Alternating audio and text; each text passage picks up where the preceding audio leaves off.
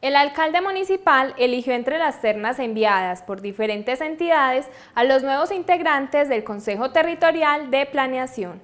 Dentro de las primeras reuniones que tuvo el renovado Consejo Territorial de Planeación CTP, desarrollaron la elección de la nueva mesa directiva. Quedó como presidente el señor Mario Cardona Toro, quien les habla, como vicepresidente John Albero Trujillo Cortés y como, y como secretario general Julián David Botero. Entonces están representadas, eh, digamos, la parte ambiental, está representada el sector económico, está representado el sector mujeres, está representado el Consejo Municipal, está representado el sector comunitario, mm, está representada la población LGTBI y está representado el sector afrodescendiente.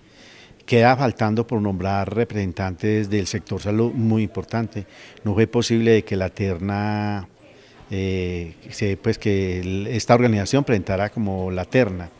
Y me parece que se debe reconsiderar el representante del sector educativo.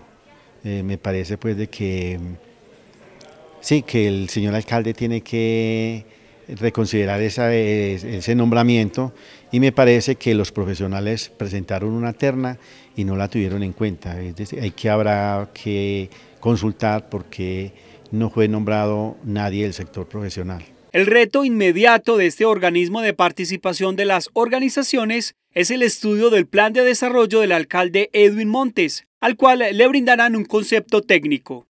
Pero ahí no se acaba la función del CTP, es decir, el CTP tendrá que seguir dándole, digamos, evaluación a esos programas y metas del plan de desarrollo, para cada seis meses dar un concepto también técnico. Y otro reto muy importante es que el CTP debe también de jalonar, porque debe de estudiar y, dar también un concepto técnico del plan básico de ordenamiento territorial del municipio de Sonsón. Yo lo he dicho ya varias veces, el plan básico del municipio de Sonsón está obsoleto, fue hecho en el año 2001 y hasta ahora pues no se ha podido renovar, no se ha podido, ha podido, podido eh, actualizar y es indispensable. Tenemos más o menos hasta final de este mes para evaluar y analizar lo que allí está planteado y mirar si nuestros sectores que estamos, digamos, como acompañando, representando, están ahí reflejados, ¿cierto?